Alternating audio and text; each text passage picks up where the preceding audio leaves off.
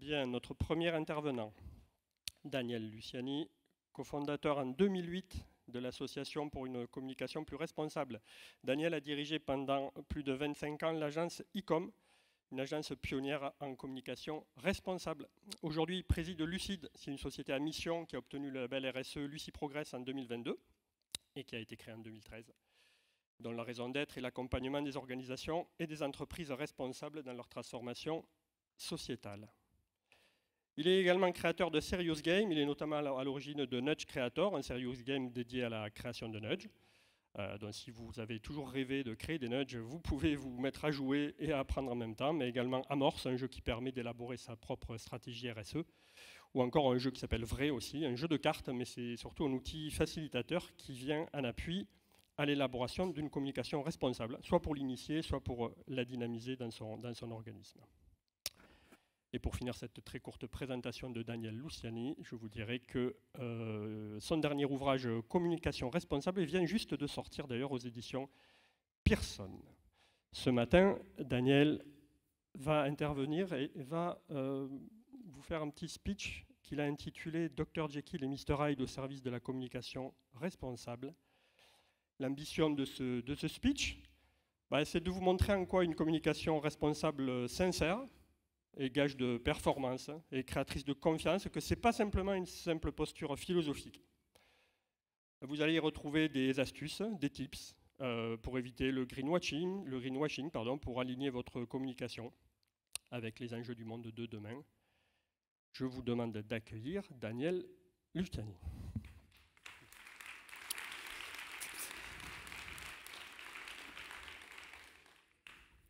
Bonjour, merci Vivian. Bonjour.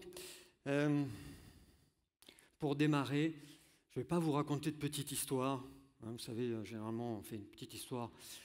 je ne vais pas vous raconter de petite histoire. Euh, je me suis habillé en blanc et bleu pour Vivian parce que j'ai vu qu'il aimait l'OM. Donc je ne lui ai pas offert de vert, mais bon voilà. Donc je dis que la tenue était blanc et bleu. Et puis Vivian et Mathieu m'ont dit bah, il faut faire rire le public à 9h15. Hein, c'est ça. Alors moi, ce qui m'a fait rire, c'est quand ils m'ont dit qu'il faut présenter la communication responsable en 15 minutes. Moi, il m'a fallu 25 ans pour commencer à comprendre ce qu'est la communication responsable et faire le livre. Je montre le livre qui euh, sort effectivement à la fin du mois. Alors une question, euh, qui est venu en avion aujourd'hui ou hier Voyons, euh, si vous levez la main, voyons, est-ce qu'il y a des gens qui sont venus en avion? À une personne, deux personnes, trois personnes. Ouais, c'est bien, c'est bien. Toutes les autres, vous êtes venus à pied, à vélo. C'est ça? Oui, c'est ça. Nickel. Merci aux autres, donc du coup, euh, vous avez compensé largement les, trois, les trois qui sont venus en avion. Alors, est-ce que vous pensez qu'une euh, compagnie aérienne puisse inviter euh, ses clients ou inciter ses clients à prendre le train vous pensez que c'est possible? C'est possible. Mathieu dit euh, que c'est possible. Eh bien, on va voir ça. Euh, on va voir ça. D'ailleurs, ça voudrait dire, mais d'ailleurs, qui prendrait le risque de dire à ses, euh, clients. Hein. Euh, ne prends pas l'avion, euh, prends plutôt le train. qui prendrait le risque pour une destination touristique, par exemple cet été, en disant eh bien, ne venez pas chez nous, allez ailleurs? Est-ce que ce seraient les élus qui prendraient ce risque-là? Il y a des élus dans la salle? Ah, il y a une élue. Bon, deux élus, c'est bien, c'est bien, c'est bien, c'est bien. Donc c'est possible, hein, puisque hier, on a vu, euh, hier soir, on a vu que euh, Marseille, euh, sur la destination Marseille, pas de communication, pas de communication pour faire venir des touristes l'été, donc c'est tout à fait possible. Et alors effectivement, effectivement, KLM l'a fait, c'est ce qu'on va voir maintenant. You remember your first flight? We do. Even though it was a hundred years ago. Going here and here and ooh, yeah, even here.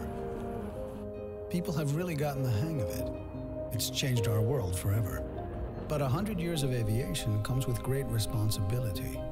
Because you want our children to get to know this beautiful world too, right? That's why we're working night and day to improve flying for the next hundred years. But we can only make it possible together.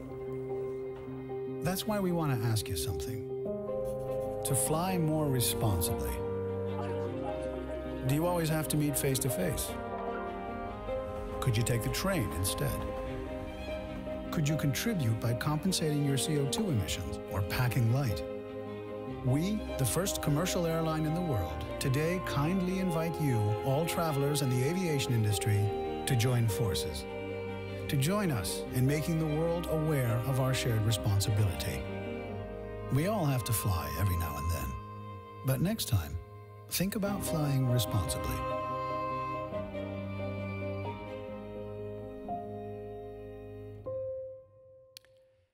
KLM l'a fait, c'était en 2019. C'est cette vidéo d'une minute 30 euh, qui a été diffusée sur euh, les réseaux sociaux euh, pour, pour dire en fait, ben, on peut, si vous pouvez ne pas prendre l'avion, c'est bien. Vous pouvez éviter de vous rencontrer en face à face. Vous pouvez faire de la visio. Vous pouvez prendre le train. Bon, vous pouvez compenser vos émissions de CO2.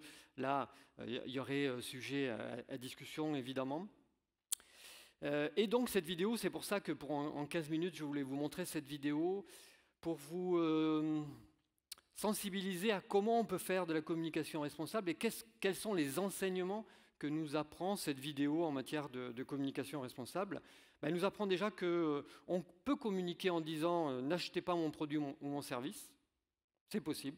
En communication responsable, on peut dire ça. Et puis surtout que l'individu est paradoxal, et j'y reviendrai tout à l'heure, et que pour faire de la communication responsable, il faut en tenir compte. Alors, cette vidéo va nous servir à, recueillir et à comprendre les, quelques enseignements de la communication responsable que je voulais vous partager ce matin. Premier enseignement, c'est que faire de la communication responsable, c'est possible en prenant en compte d'abord les attentes des parties prenantes, ces fameuses parties prenantes qu'en matière de responsabilité sociétale on appelle de, nos voeux, notamment euh, dans les démarches de RSE ou de RSO pour les organisations. Et en fait, cette communication qu'on vient de voir, elle, elle répond bien aux attentes des Français. Je parle des Français, mais on pourrait dire des Européens, parce que 83% des Français disent vouloir vivre dans une société où il y aurait moins de consommation. Ça, c'est le baromètre ADEME Greenflex euh, de 2021 hein, sur la consommation responsable, où cette attente-là est fortement euh, présente. Deuxième, euh, deuxième chiffre à retenir, c'est plutôt le chiffre que je donne souvent aux professionnels de la communication que je forme. 94% des Français attendent des marques et des organisations qu'elles s'impliquent et qu'elles aident leurs clients, leurs clientes à mieux consommer. Et notamment, évidemment, en termes de, santé et surtout en termes d'environnement. C'est un sondage euh, qu'a fait l'Union des marques auprès de 4000, 4000 participants. Ça, c'était en novembre 2020. Et ce 94% des Français attendent des marques qu'elles les aident à mieux consommer. Ça veut dire à consommer plus sobrement. Donc ça veut dire que là, si vous faites une communication responsable de cette nature-là, en disant, ben, voyez, vous n'êtes pas obligé de consommer mon produit, vous êtes déjà dans la perspective, dans une logique de communication responsable. Deuxième enseignement de cette, cette vidéo, elle parle à l'individu de manière adulte, en ne laissant pas croire que l'avion est tout d'un coup devenu excessivement vert et que euh, tout d'un coup c'est génial, à contrario de, cette euh, communication euh, de la Lufthansa, qui a été taxée de greenwashing, évidemment par le jury d'éthique publicitaire belge. Et là, on est non pas en 2015, en 2010, on est en 2022. Donc vous voyez la publicité qui, est, à ma droite. on laisse entendre qu'un avion devient un arbre. Et on est en 2022. Alors évidemment, elle s'est fait euh, taxé de greenwashing, à contrario évidemment de la communication qu'on a vue de KLM, même si évidemment KLM, n'est pas, pas parfaite. Le greenwashing dont tout le monde a entendu parler, d'autant plus qu'il est dans le dictionnaire aujourd'hui, hein, la nouvelle édition du dictionnaire, le greenwashing est dans le dictionnaire. Et pour moi, c'est le pire des mots, MOT, et le pire des mots aussi MAUX, parce que c'est ce qui a fait beaucoup de mal à la communication, et la communication responsable veille à lutter contre ça. Alors ensuite, et c'est pas glorieux pour nous, hein, pour chacun d'entre vous euh, dans la salle, on est tous un peu Dr Jekyll et, et Mr Hyde, on est tous des êtres paradoxaux. D'un côté, on aspire au bien, et on veut euh, sauver la planète, on veut prendre moins l'avion, on veut moins manger de viande, même si hier soir euh, il y avait quelques petits morceaux euh, de bœuf là qu'on a réussi à attraper en, se courant un peu après là, vous voyez, voyez le truc là. bon, pourtant, pourtant je m'étais dit, bah, je, je, mangerai jamais, je mange jamais de bœuf, et pourtant hier soir il y avait que ça, donc je me suis jeté sur une petite bouchée de bœuf. Honte à moi, hein, Nathalie, qui, qui mon amie, qui est intervenue hier, hier soir, euh, elle n'a pas mangé de bœuf, mais honte à moi, j'ai mangé un peu de bœuf parce que c'est à peu près tout ce que j'ai mangé hier soir. Mais nous sommes aussi le mal. C'est-à-dire que euh, surconsommer, c'est bien, avoir le dernier SUV, c'est bien, euh, prendre sa voiture plutôt que le vélo, c'est bien, profiter des prix défiant toute concurrence pour faire le tour du monde ou pour aller dans une destination euh, où il y a du soleil euh, à, part, euh, à, part, la vôtre ici. Voilà ce qu'aspire aussi là, non pas Dr Jekyll, mais Mr Hyde. Donc nous sommes tous un peu Dr Jekyll et Mr Hyde. Et les marques qui ont compris, là vous avez trois marques, EDF, Etikable et L'Oréal, trois marques de nature différentes, les marques qui ont compris qu'on doit parler en matière de communication responsable Dr Jekyll et Mr Hyde, ce sont des marques qui ont compris qu'on ne pouvait pas continuer à infantiliser l'individu et l'adulte. Donc oui, faire de la communication responsable, et pour moi c'est un marqueur euh, aujourd'hui de ce que euh, je nomme la communication responsable de troisième génération, c'est quand on sait parler à Dr Jekyll et Mr Hyde. Si j'achète du chocolat, c'est pas pour sauver la planète, je suis désolé, hein. c'est d'abord parce que euh, j'ai envie de manger du chocolat, pour me déstresser, parce que j'aime le chocolat. Mais Etikable a compris ça depuis très longtemps et il dit ben, ça vous permet aussi de défendre les, petits producteurs. Idem comme L'Oréal, mieux hydrater ma peau sans gaspiller l'eau. Donc l'un des marqueurs de la communication responsable de, cette génération-là euh, dont nous faisons euh, partie, ou en tout cas nous sommes en train de la vivre, c'est effectivement cette euh, façon de parler à Dr Jekyll et Mr Hyde aux deux individus. D'autant plus que euh, quand on fait ça, on parle vrai, euh, d'autant que le faux s'amplifie de plus en plus. Hein. Euh, la quête du vrai, pour moi, c'est un élément, comme les, certains sociologues qui l'évoquent, c'est un élément important aujourd'hui, et pourtant le faux se propage plus vite que le vrai, notamment, et vous le savez pertinemment, vous, sur les réseaux sociaux. Et la communication responsable, elle, elle va pour chercher cette quête du vrai, en fait, pour rendre crédible les engagements de la marque et notamment euh, celle d'Etikable par exemple. Alors qu'est-ce que nous apprend encore cette vidéo hein? Qu'on ne peut pas faire euh, porter la seule responsabilité à l'autre et qu'il faut partager la responsabilité.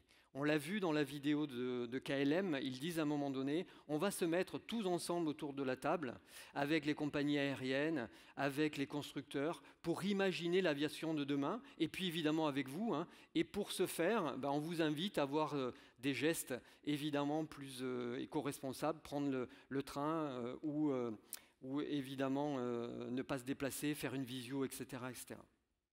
Ça, c'est la responsabilité partagée. En matière de communication responsable, pensez toujours, euh, si vous, euh, vous demandez à l'autre un geste euh, pour agir, par exemple, pour respecter vos territoires, en termes de déchets, par exemple, n'oubliez pas de dire, vous, en tant que collectivité, opérateur, opérateur de destination, opérateur touristique, n'oubliez pas de dire ce que vous, vous faites. Hein, parce que c'est juste à dire aux visiteurs, ben toi, quand tu viens chez nous, sois propre et respecte notre biodiversité. Et si vous ne dites pas vous ce que vous faites, pour moi, c'est renvoyer la responsabilité à l'autre. Et en matière de communication responsable, ça, c'est pas terrible. Quoi. Alors, évidemment, il y a la question de l'alignement en matière de communication responsable. Et les maîtres mots, vous les avez, euh, vous les avez là.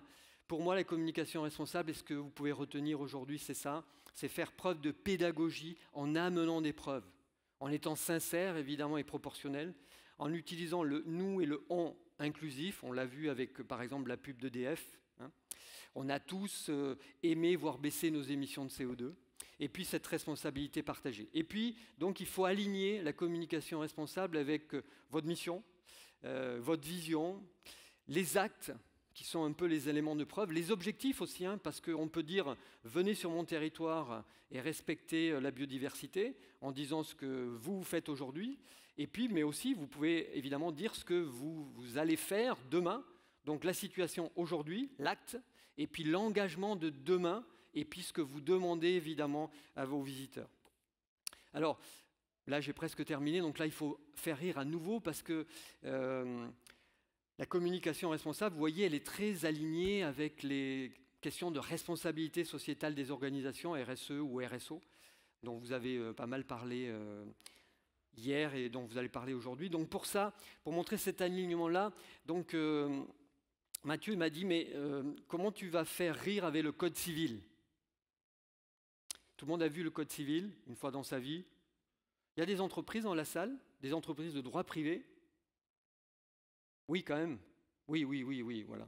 Donc vous savez, euh, que depuis la loi Pacte, il y a un article dans le Code civil qui est l'article 1835 qui dit, alors c'est l'un des articles les plus courts, hein, si on prend le, plein d'articles dans le Code civil, hein, euh, qui a été, euh, entre guillemets, compilé euh, par Bonaparte, qui est un peu mononyme parce que Daniel Luciani c'est corse, hein. donc je suis assez fier de Bonaparte, en tout cas pour le Code civil en 1804. Voilà l'article 1835, ce qu'il dit les entreprises de droit privé. Toute société doit avoir un objet licite et être constituée dans l'intérêt commun des associés. Ça, ça veut dire qu'en fait, euh, il y a des trucs que vous ne pouvez pas faire, euh, détourner de l'argent, des trucs comme ça. Là. Et puis constituer dans l'intérêt commun des associés, c'est-à-dire qu'en fait, euh, jusqu'à présent, faire une entreprise, ça constituait, constituait par l'enrichissement de ses associés. Hein. Total, 32 milliards de bénéfices pour ses actionnaires. Je ne suis pas sûr que les salariés ont vu beaucoup de cette manne de résultats positifs nets de total cette année, quoi, 32 milliards de bénéfices. Donc c'est normal, c'est écrit dans le Code civil. Donc je suis dirigeant de Total. Bon, je suis, pas salarié euh, de Total, mais si je suis dirigeant de Total, je lis le Code civil et je dis constitué dans l'intérêt commun des associés, donc euh, bah, c'est pour les associés. Mais la loi Pacte a rajouté ça pour toutes les entreprises de droit privé, donc celles qui sont dans la salle aussi. Maintenant, la société est gérée dans son intérêt social en prenant en considération les enjeux sociaux et environnementaux de son activité.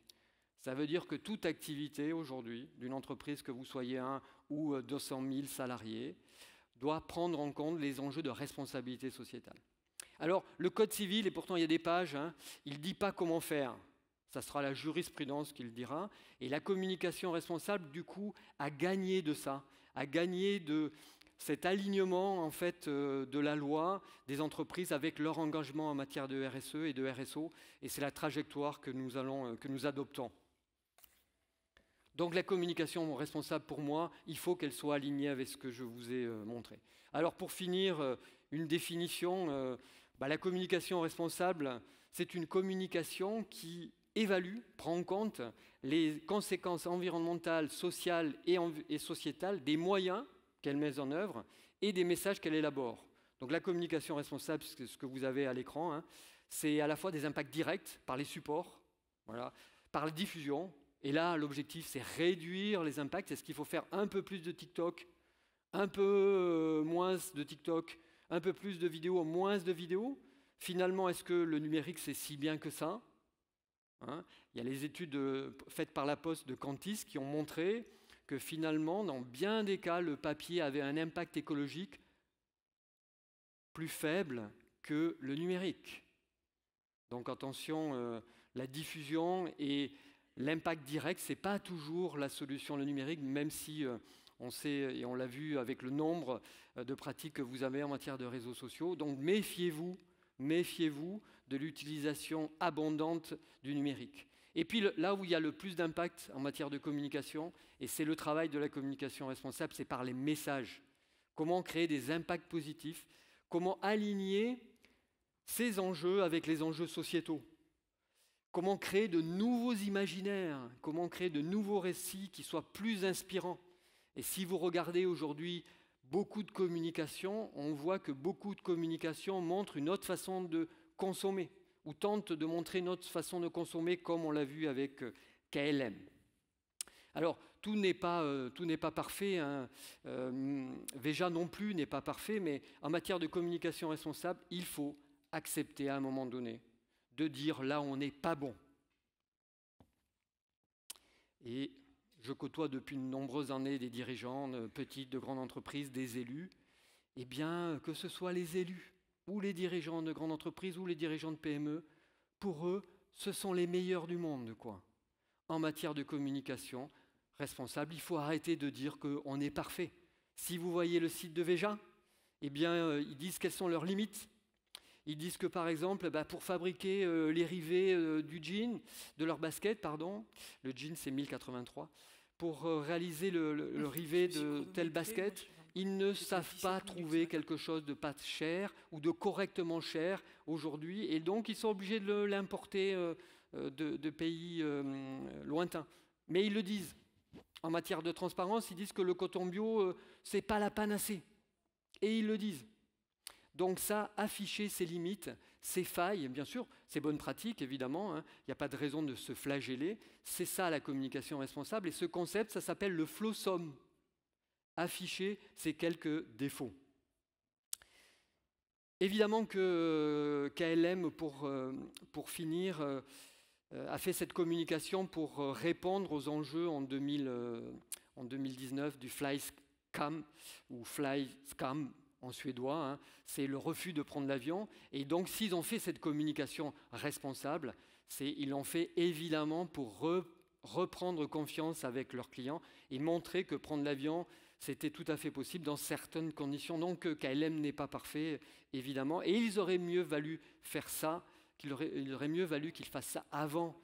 Voilà, s'ils avaient communiqué de cette manière-là avant, ça aurait été bien. Et pour finir, pour dire ce qu'est euh, la communication. Euh, responsable, un peu sans impact, sans impact négatif, ben voilà, je vous propose un peu de poésie pour finir, non pas une longue poésie, mais un petit, euh, un petit haïku, vous savez, ces petites poésies courtes en 5, 5, 7 et 5 syllabes qui seraient la communication responsable, ce serait de belles promesses avec de jolies preuves, le tout sans impact.